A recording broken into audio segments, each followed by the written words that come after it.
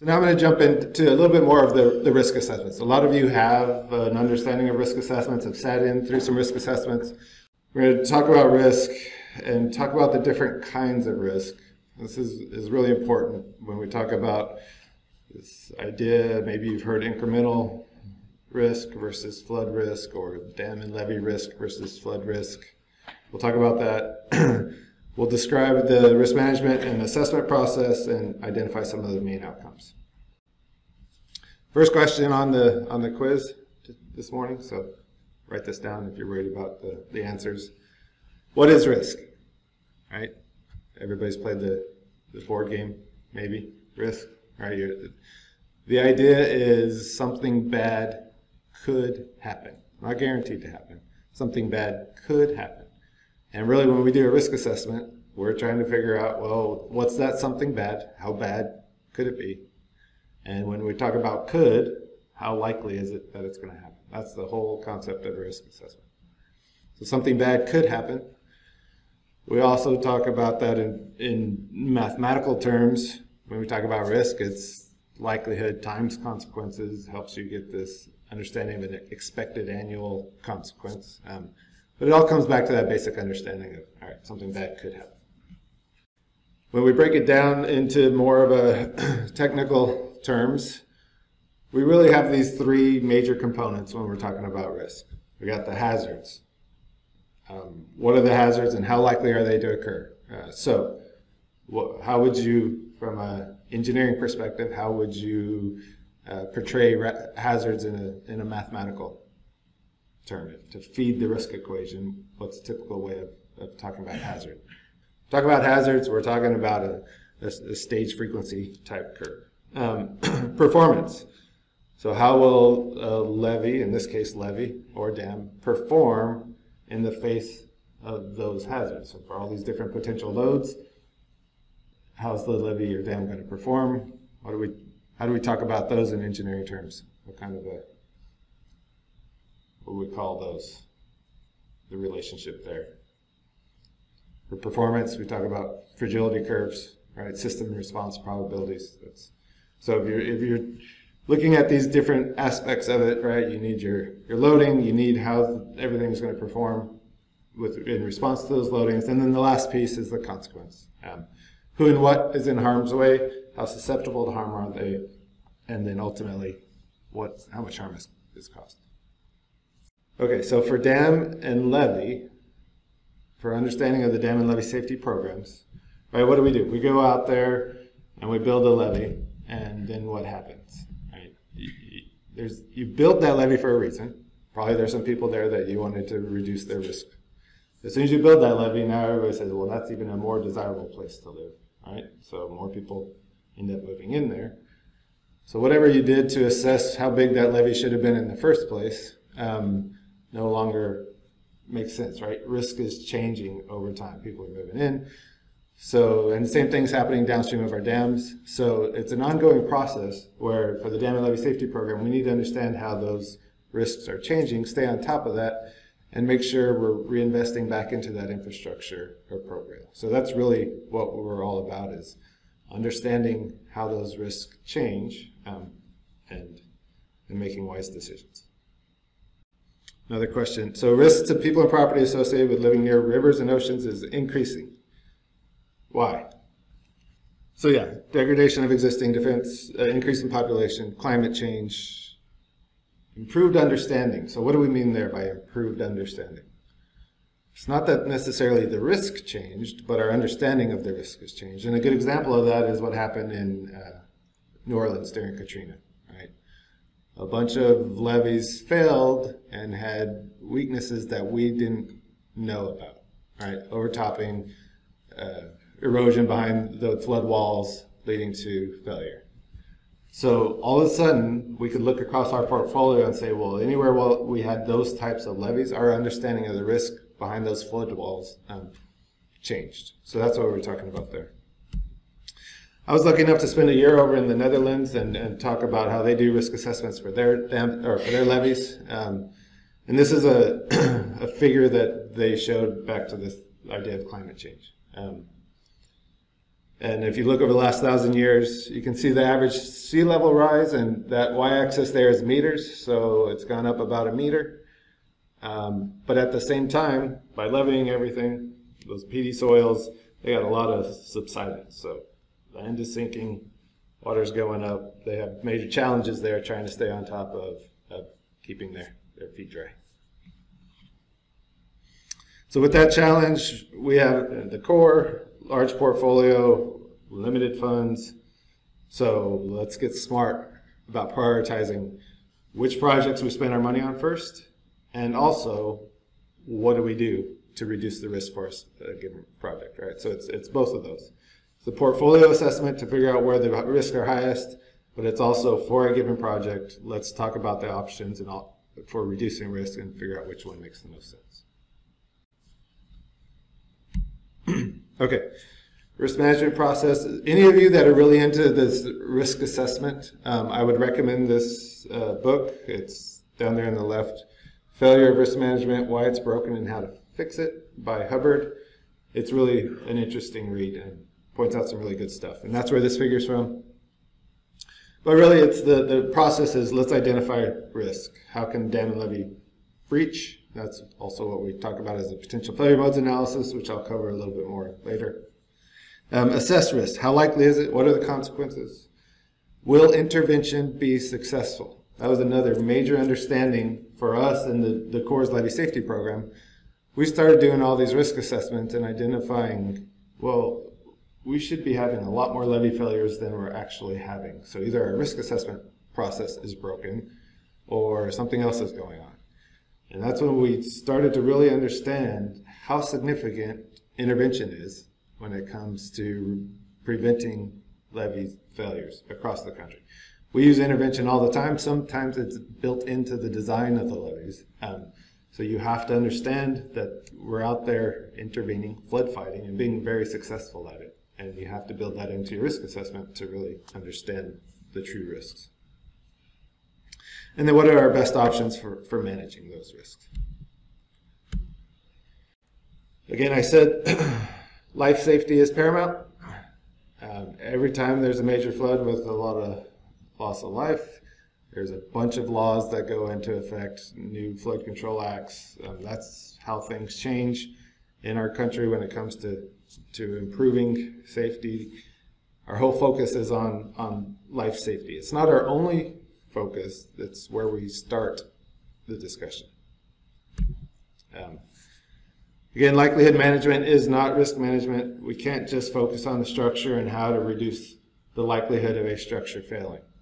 We need to also understand the consequences and be able to talk about how to, to manage consequences in the face of a larger flood event. So, um, to do that, with life safety is paramount, and we understand consequence management is part of risk management, you got to be able to talk about potential loss of life, what causes people to lose their life during a flood event, because that's how you start to identify ways to reduce it. Right? You can't just focus on the engineering part of it. You got to focus on the, the people part as well.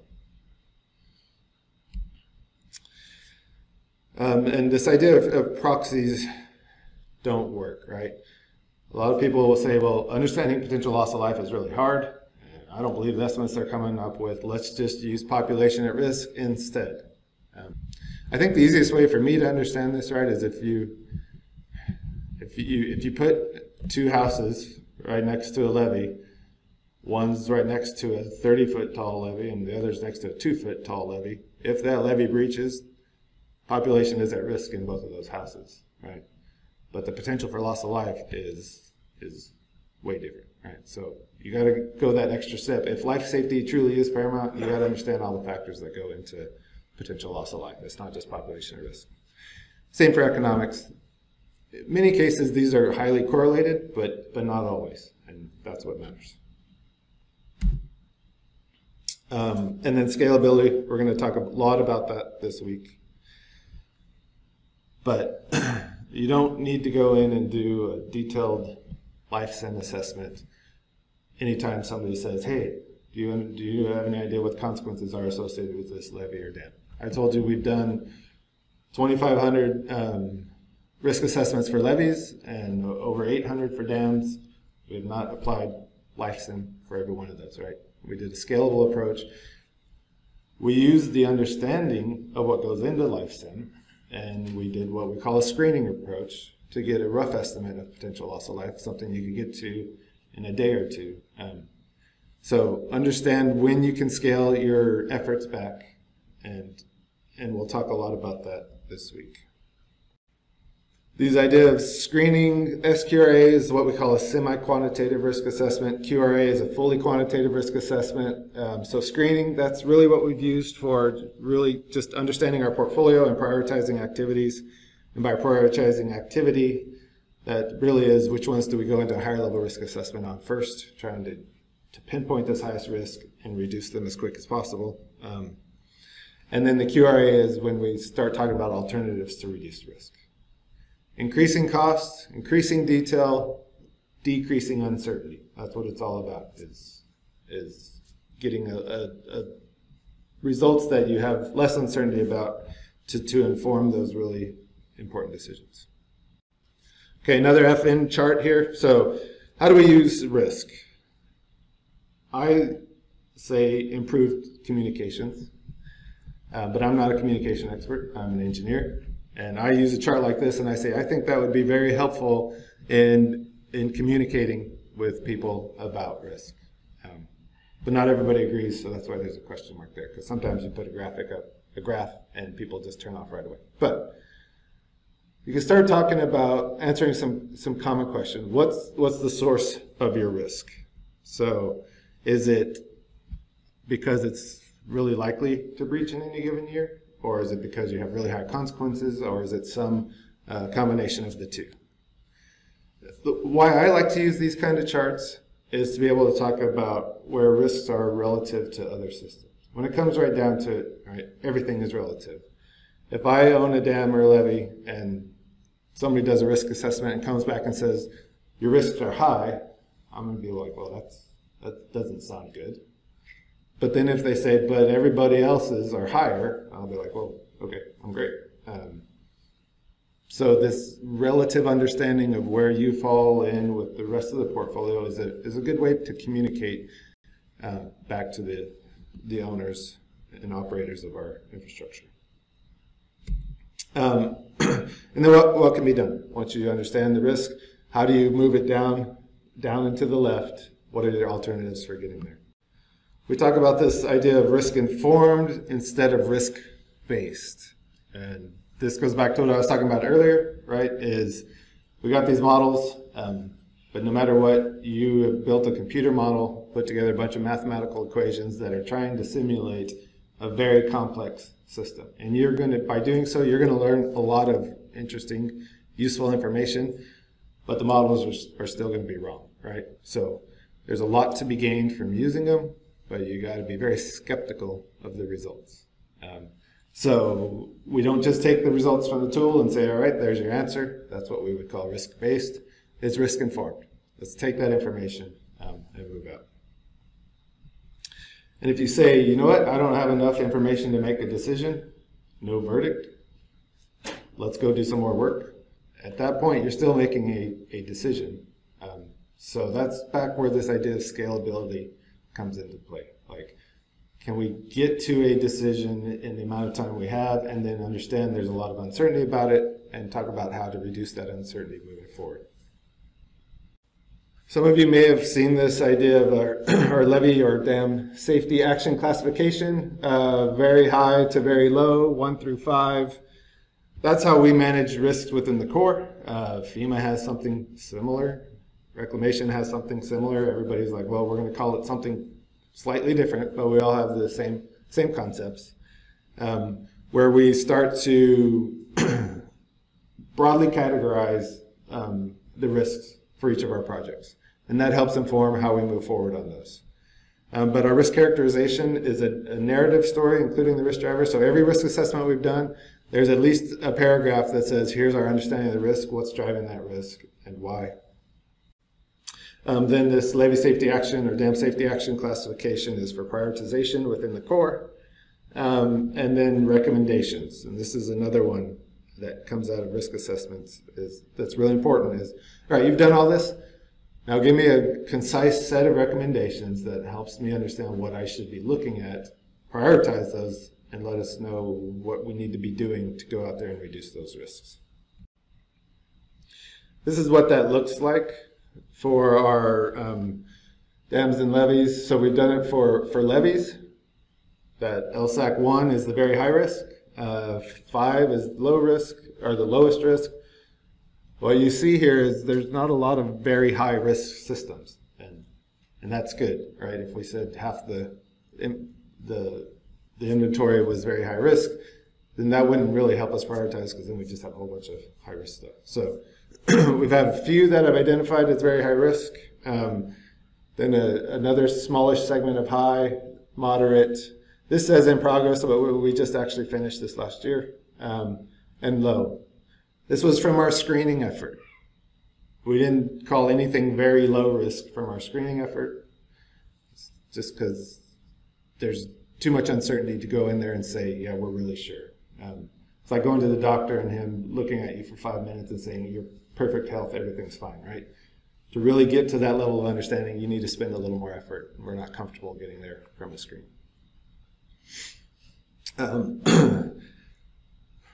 we, we do the screening effort using the screening tool, but what's really important from the, for the risk management process is every one of those screenings go through a national QA/QC cadre to make sure we're being consistent, to make sure all the teams that have that have applied these, the screening tool throughout the country um, applied it the same way, using the same interpretation of the guidance, um, so you have a smallish team that has looked at all those, and then they all go up to the senior oversight group that gives the final recommendation on an LSAC. So we've had one group of people that I sit on for the last on this group for the last 10 years that have seen every single levee um, in the Corps, and that's how we get to that consistency. Uh, it's a challenge, it's expensive, but it, it's necessary to get to that level of consistency. Here's another way of looking at that, um, combining dams and levees in, in a different graphic. Um, but really it gets to that, that better understanding um, and back to that idea of we're investing $500 million a year back into all these dots up here. Let's make sure we're making the best decisions possible.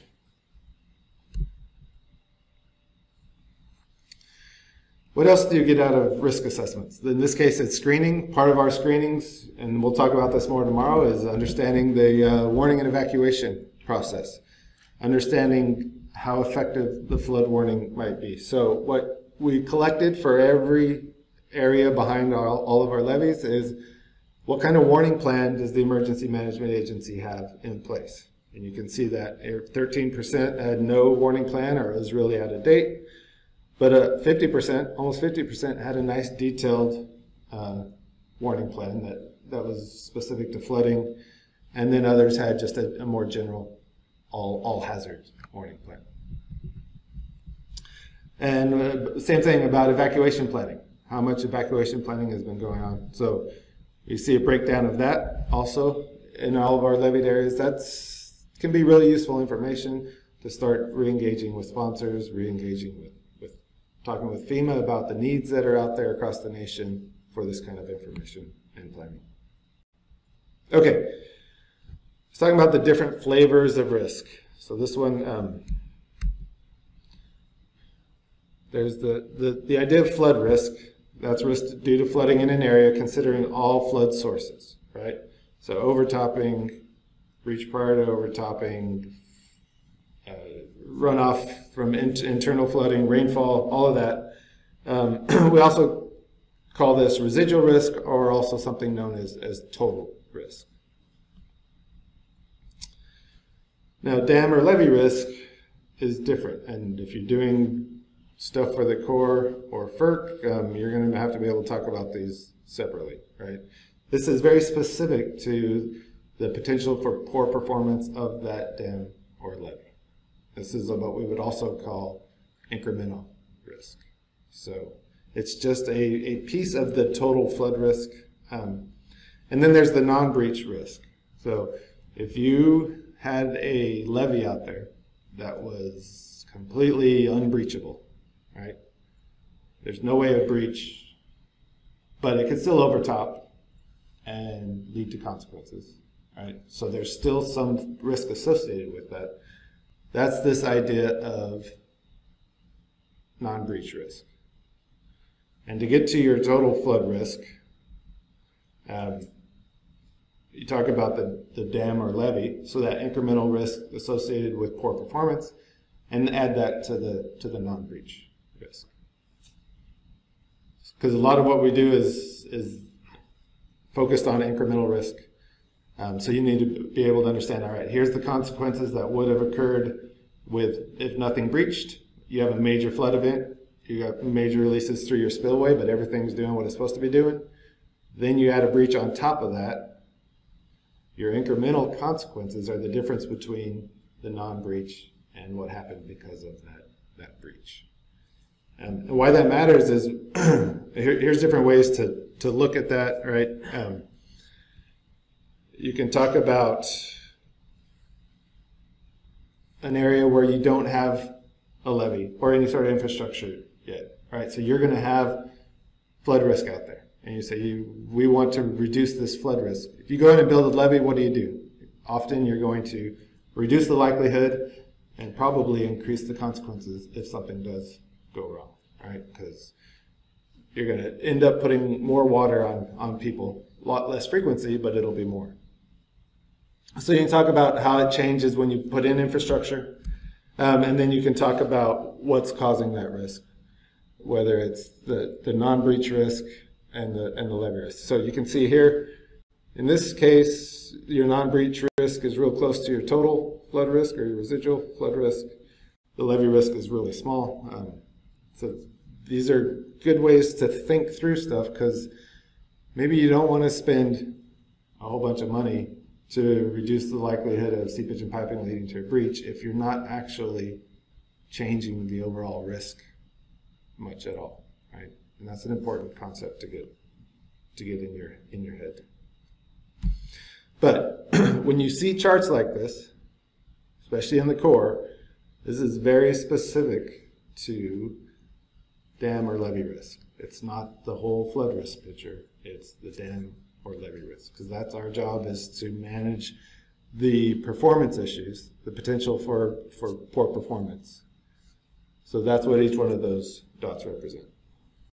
So, how do you go about making decisions on reinvesting in your infrastructure when you're talking about life safety is paramount, right?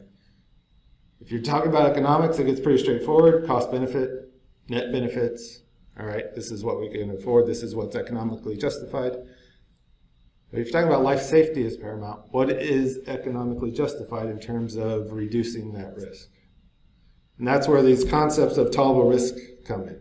Um, so this TRG, tol- Tolerable Risk Guideline 1, that we have is this idea that the society is willing to live with the risk to secure the benefits of living where they are. Um, so we have two of those. We have um, what we call the, the societal risk guideline, and that's what the, the blue one is. Sorry, I don't know if I have a pointer here. Um, so the blue diagonal line there is our societal risk guideline. The, the basic concept here is society is less willing to, to accept those really large disasters. Um, so as the potential consequences get higher, we're willing to accept a, a lower likelihood of those occurring. And the red, li- red line there is the individual risk guideline. And what that is, it's 10 to the minus 4. And how that was developed was, all right, and it, it goes back to the, the nuclear um, industry. Right? You're going to go in and, and build a project somewhere that could increase the risk for certain people that live next to it um, while providing benefits to a whole bunch of people elsewhere. Um, so this this individual risk concept is we need to make sure we're not increasing anybody's background risk, their potential, their likelihood of dying in any given year, um, in any appreciable way. So what they did is figured out, all right, I, mean, I think it goes back to like a, a 12 year old girl, the likelihood of a 12 year old girl dying in any given year um, was around 10 to the minus 3. And so they said, well, let's go an order of magnitude less than that, and we'll make sure we're not increasing anybody's risk by building this infrastructure um, in an appreciable way. And that's this individual risk guideline. So if you have a project that plots up and to the right of those, that's what we would generally say, you know what, you're not meeting tolerable risk guideline number one. You should be doing whatever you can to move below that. It's a little more complicated than that. All right, there's some other things that go into that decision making, but the basic concept is if you're up and to the right of those lines, then you're justified in investing to bring the dam or levee risk down below those.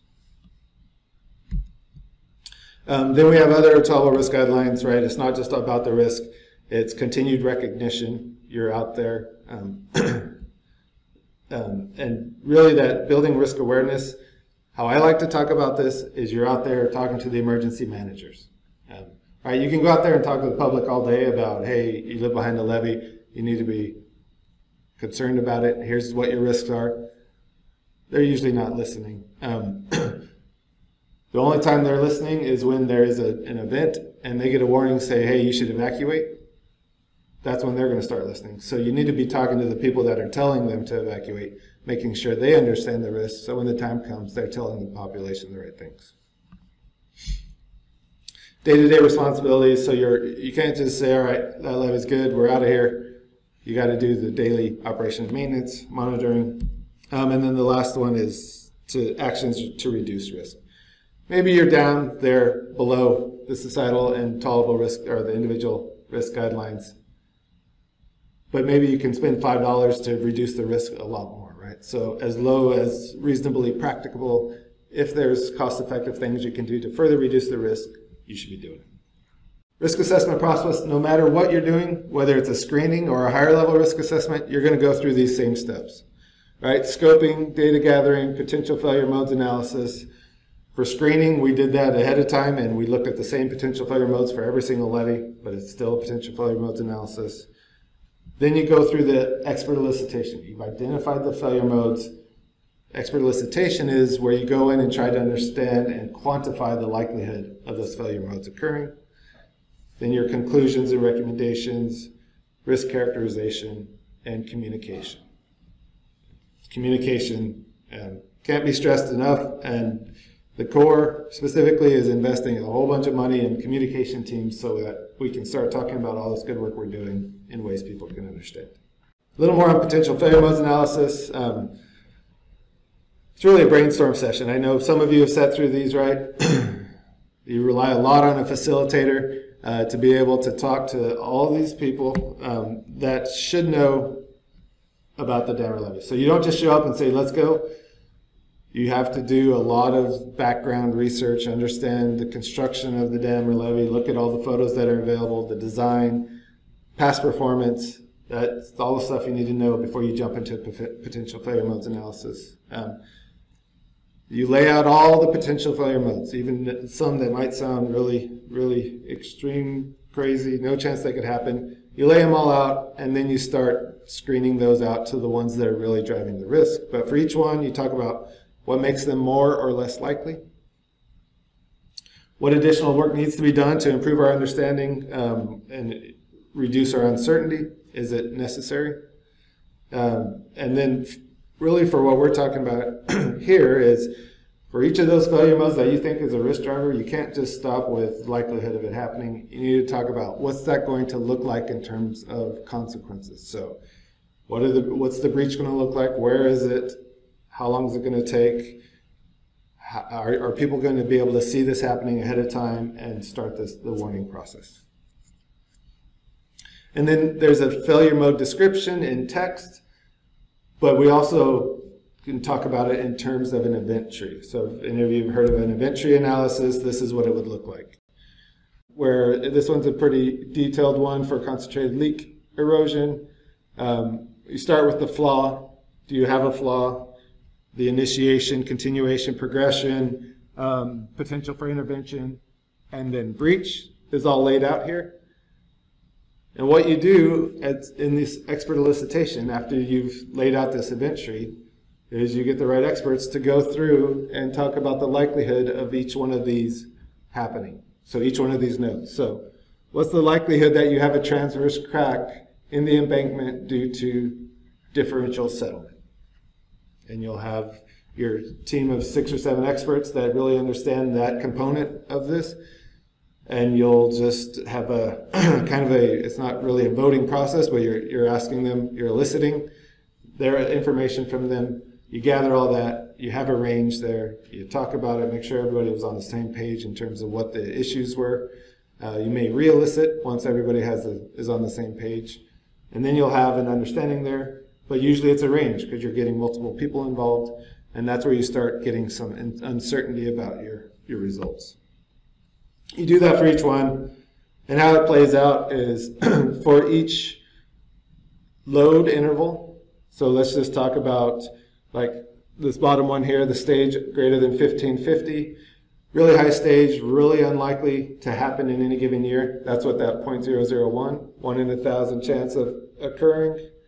Um, but if it does occur, You've, you've set up an entire event tree for st slope stability. Like I showed earlier, you multiply all those nodes together. That's the likelihood of seeing a failure due to slope stability under that load level. And then for each one of those failure modes, you have to put a, a consequence assessment with it. So you lay out these, what can be really complicated event trees, but that's how we get to our, our risk estimates. Because then really you just multiply everything through, um, and, and that's an expected annual life loss in this case. That's how you get to the expected annual life loss using an event tree approach. Okay, a little bit more, and I think if any of you have been involved in this and you haven't seen this type of a setup, next time you're involved in one, now you know. It's up to you to make sure that you're starting to show the information in this manner. So start with a whatever situation scenario you're looking at. In this case, it's a, a sunny day failure. And put the hydrograph up there. So this is your breach hydrograph, and then start labeling it, right? so at some point, your failure mode initiated. And that could be water flowing through a crack. Um, and that could have been years in advance, right? Some of these failure modes take forever to, to progress and actually lead to a breach. But the, what you see here is the, the, the physical beginning of it, but then it got to a certain point where the seepage increased enough that you were at least able to observe a difference in what the, was flowing through that, that crack. Um, so there's a long time between that, in this case, between there and the collapse of the embankment. So what's going on between when you've observed that there may be an issue to the collapse of the embankment. All right, that's where you're starting to do intervention, right?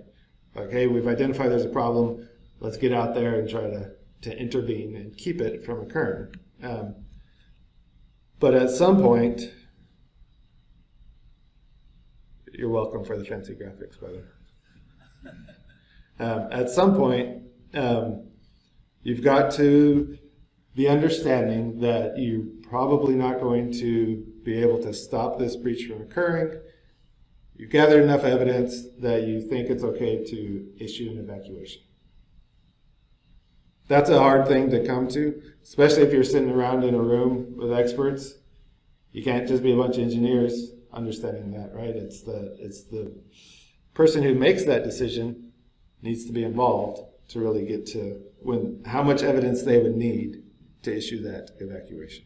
So regardless, if you lay it out like this, then you can start to connect that the, the, the breach model with your warning and evacuation timeline. And this is really the only way to get there in a way that everybody's on the same page.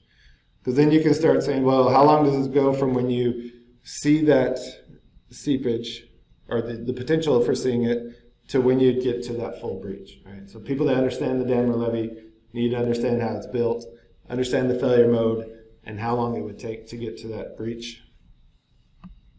Um, and then you start talking about how much evidence you would have and when you would issue that, that warning or the, the evacuation?